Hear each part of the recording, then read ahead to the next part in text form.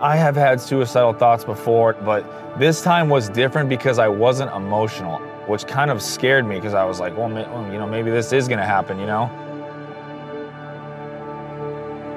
I grew up in a Christian home. My dad was a police officer. When I was about nine years old, I went to my first ice hockey game and just fell in love with the sport. And uh, when I was 18, I got an opportunity to play in Canada. When I got to that level, I realized when I looked around that I probably wasn't the most skilled guy on the ice. And I had to kind of figure out a way to stay on the roster. So I started fighting and I ended up having to do that for the rest of my for the rest of my playing career. And I think that's where a lot of my depression and anxiety started. But when I stopped playing, that's when I fell into these really deep like depression bubbles where you just you just couldn't get out.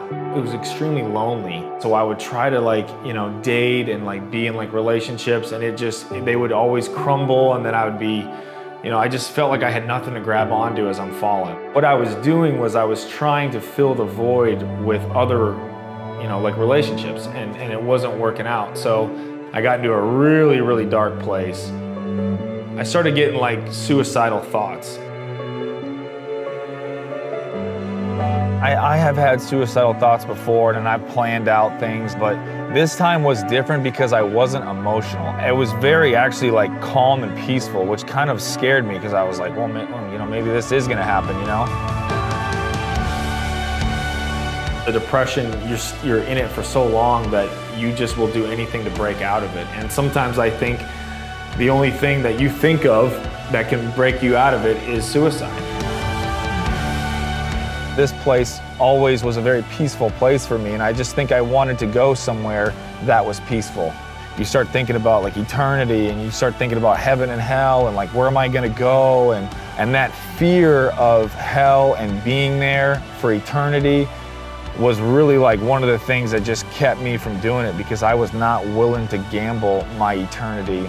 And I'm just so thankful that I was able to drive out of that parking lot and leave.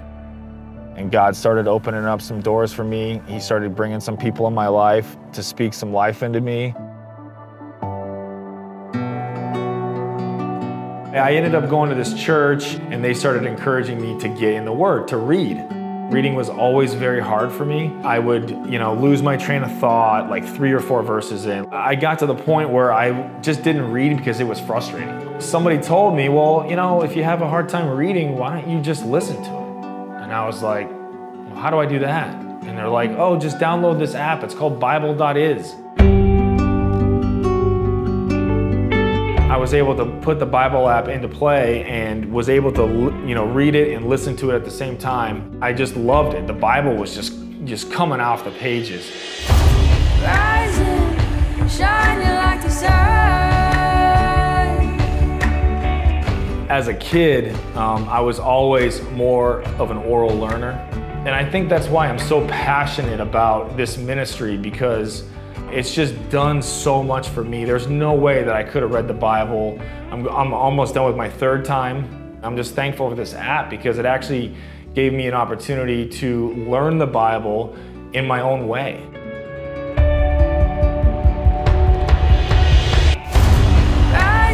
I'm a big supporter of this ministry. I believe in, in, in just everything that they do as far as international missions, but we can actually use this app ourselves. We can use it when we walk our dog, we can use it when we drive to work, like we can use it in our own lives. It can help us just learn more about who Jesus really was. I want to read the Bible as many times as God will let me, and I'm going to do it with this app. One of the biggest joys that I've had is really through giving. I mean, it's such a blessing. I mean, it's actually worship if you think about it. You know, we are, you know, kind of giving back to God what's already His. And so every year, the last few years, I've tried to outgive where I gave the last year.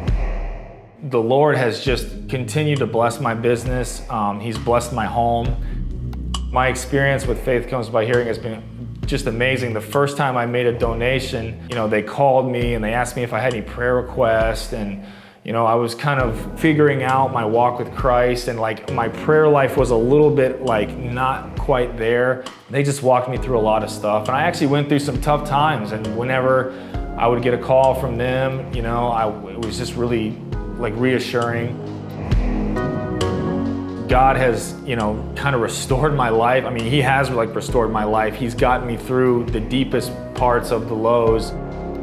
I just want to be a blessing to others. And I think a lot of time when you do give, it takes the focus off yourself and it puts the focus on others.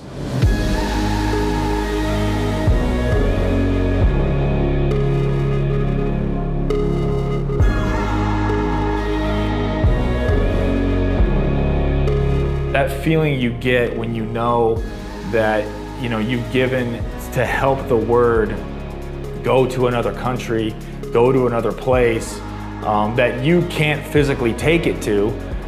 I mean, there's just no better feeling than that.